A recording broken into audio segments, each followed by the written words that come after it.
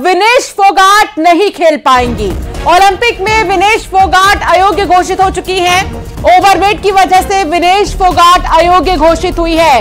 अभी हाल ही में उन्होंने क्यूबा की एक खिलाड़ी को हराया।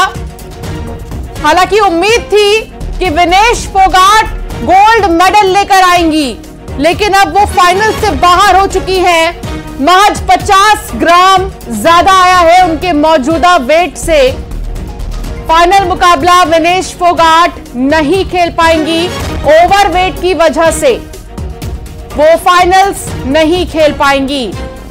50 किलो कैटेगरी में उनका चयन हुआ और उन्होंने बहुत ही शानदार मुकाबला खेला बीते मैचेस में लेकिन अब वो नहीं खेल पाएँगी फाइनल्स नहीं खेल पाएँगी। 50 किलो वज़न उनका अ, 50 ग्राम माफ़ कीजिएगा वज़न उनका मौजूदा वज़न से ज़्यादा आया और इस वजह से वो फाइनल से बाहर हो गई हैं। हालाँकि निराशा हाथ लगी है वेट की वजह से, लेकिन उनके बीते जो दो मैचेस हैं, वो काफ़ी शानदार रहे हैं। पेरिस ओलंपिक्स में दो पदक जीतकर इतिहास रचने वाली भारतीय शूटर मनु भाकर स्वदेश लौट आई हैं। मनु का दिल्ली एयरपोर्ट पर जोरदार स्वागत हुआ है। एयरपोर्ट से बाहर आते ही मनु के माता पिता ने उन्हें गले लगाकर उनका माथा चूम लिया। मनु के साथ उनके कोच जसपाल राणा का भी जोरदार स्वागत हुआ है।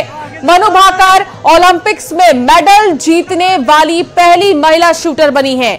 मनु भाकर ने 10 मीटर एयर पिस्टल के महिला और मिक्स्ड टीम इवेंट में दो ब्रॉन्ज मेडल जीते हैं।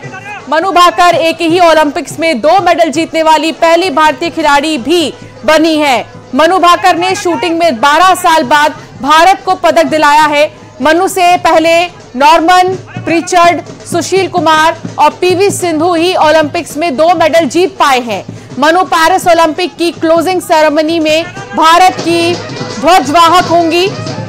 मनु भाकर रविवार को होने वाले क्लोजिंग सेरेमनी के लिए वापस पेरिस भी जाएँगी। लेकिन उसके पहले भारत लौटने की ये देखिए तस्वीर, जहाँ भारतीय खिलाड़ियों का जोरदार स्वागत किया जा रहा है और ये खुशी का पल है। ये गौरवान्वित हो जाने वाला पल है जब हमारे भारत के खिलाड़ी जो हैं अन्य देशों में जाकर भारत का नाम रोशन कर रहे हैं, कई रिकॉर्ड्स बना रहे हैं, इतिहास रच रहे हैं। उनमें से एक नाम मनु भाकर का भी, जो पहुँची दिल्ली तो उनके माता पिता उनके स्वागत के लिए वहाँ पर मौजूद थे। और जैसे कि भावनाओं में बहते हुए भी कई नज़र आए। परिवार के लोग माता पिता और साथ ही उनके गुरु, उनके कोच भी दिल्ली एयरपोर्ट पर मौजूद थे।